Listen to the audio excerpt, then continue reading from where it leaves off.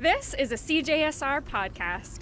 Volunteer powered, Listener supported. campus and community Radio. podcast. Podcast. Radio.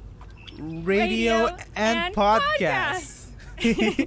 This is kind of like a hot, gelatiny, oniony Caesar.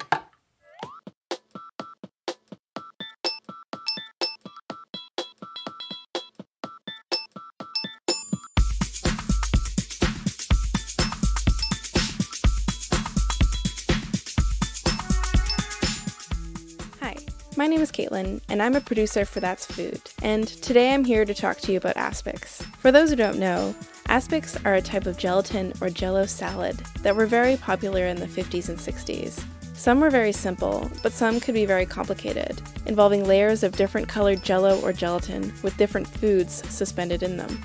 They're one of my obsessions because they are so aesthetically strange. So much so that they don't really look like food at all. To many people today, they seem bizarre and definitely not very palatable. In this episode, we are going to explore the wonderful world of aspics by making one, and then trying it. So, stick around and find out what eating a gelatin salad is really like.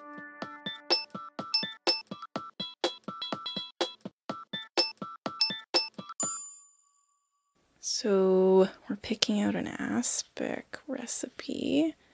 I have in front of me the Pilot Club cookbook, casserole favorites, including salads. Okay, we're gonna go to the molding vegetable. Page 149. Okay, right away. Glorified cabbage salad? Oh my god, it has lemon gelatin. Do they mean like lemon jello? Like sweet lemon jello? I don't get it.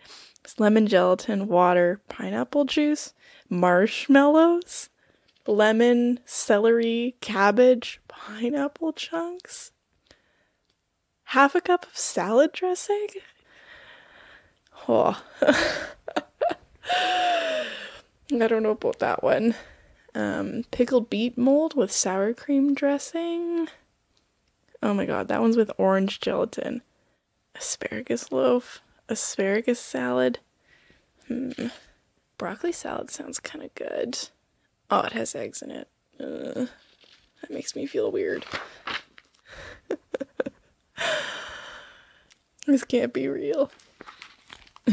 oh, yeah, we're getting to it. Tomato aspic, unflavored gelatin, one cup cold tomato juice, three and a half cups hot tomato juice, lemon juice, minced onion, Worcestershire sauce, salt. Ooh, two cans of shrimp or desired seafood. I don't know if I ever desire seafood really.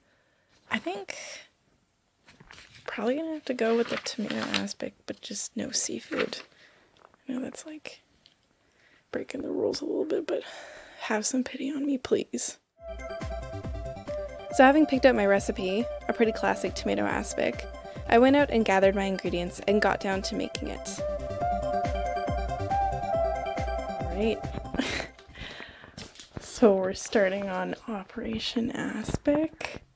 I have one teaspoon of minced onion, a tablespoon of lemon juice, a whole box of Knox gelatin. I'm not going to use all of it, but so the recipe says that I need to have, well, okay, first off, this recipe calls for shrimp. I'm not putting shrimp in. Like it says to use like four whole cups of tomato juice, and I don't really want four whole cups of aspic, so I'm gonna half the recipe. So I still need two cups of tomato juice, and it says like a quarter of that has to be cold, and then three quarters of the tomato juice has to be hot. So yeah, we're gonna separate the tomato juice and then heat it up. Why do you question I'm having right now? Why do you put tomato juice in cans? What's the deal with that? Questions. Oh yeah, there's that tomato juice smell.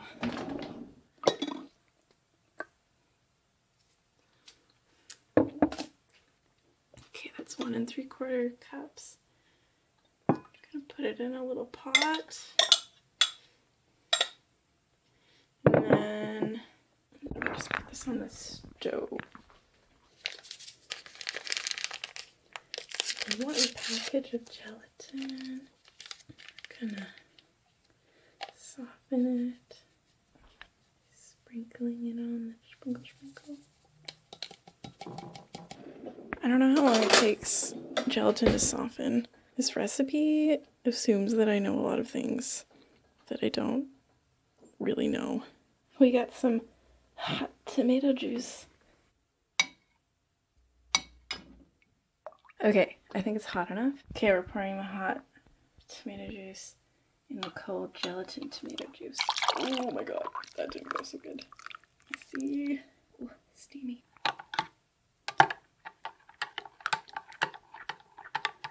Okay. And we have the lemon.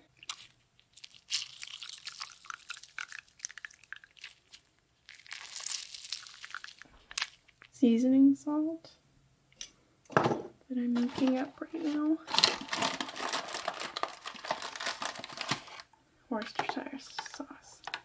Okay.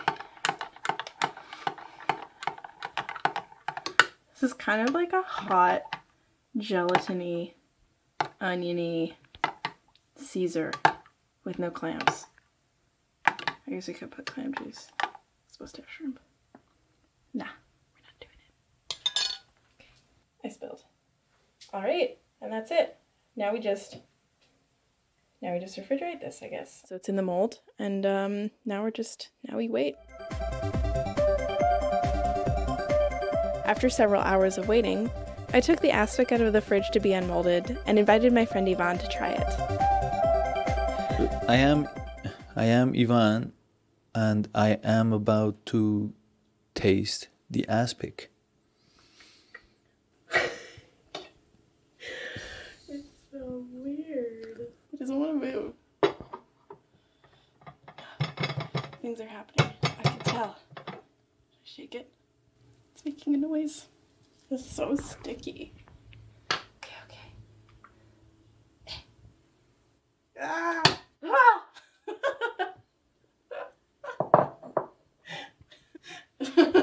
that is one ugly aspic.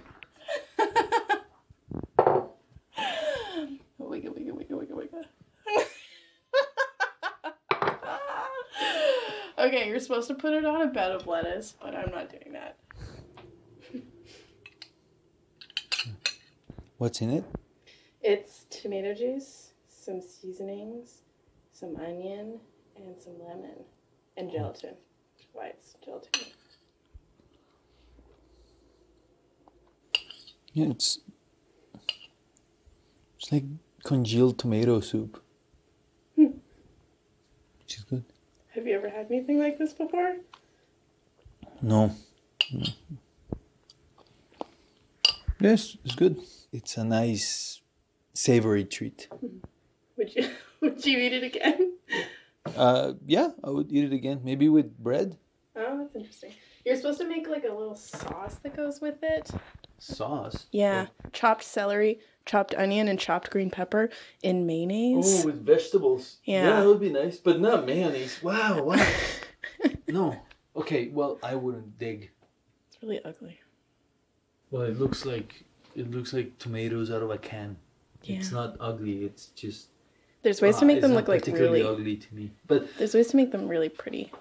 yes, that's my that's my review of the tryout. What what else do you want to know? No, that's it. Okay. What if there was, on that note, what if there was shrimp in it? I'm allergic to shrimp. But if you were. I don't like shrimp. I don't like their aspect.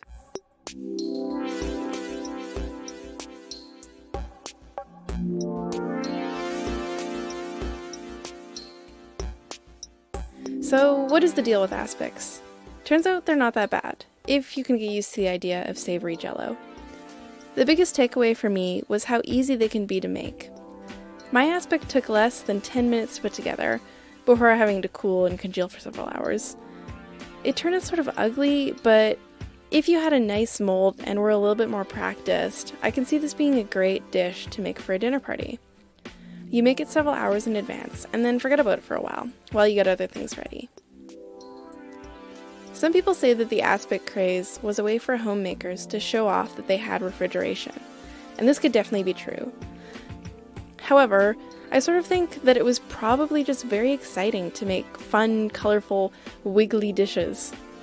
After having made my own, I definitely see the appeal. Though maybe I'll probably keep avoiding putting any seafood anywhere near aspics. Your snack fact of the day is that it's easier to unmold aspics if you dip the outside of the mold in warm water first, a fact that I wish I had known before I started this episode. And that's it for this episode of That's Food. Today's episode was produced by me, Katelin Karbonik, with help from the That's Food team. Our music is by Doug Hoyer. You can find all of our episodes on Apple Podcasts and Spotify, and on our website, that'sfood.transistor.fm. You can contact us at that'sfood at cjsr.com. We are That's Food CJSR on Facebook and Instagram. That's Food is produced at CJSR in Edmonton, on Treaty 6 territory. Catch you next time, snack pals. But is it food? That's That's food. food. God, I messed it up. Sorry, I didn't. Again, yeah, I'm not counting down. I'm not counting it down. Wait, It's we're too not much. counting?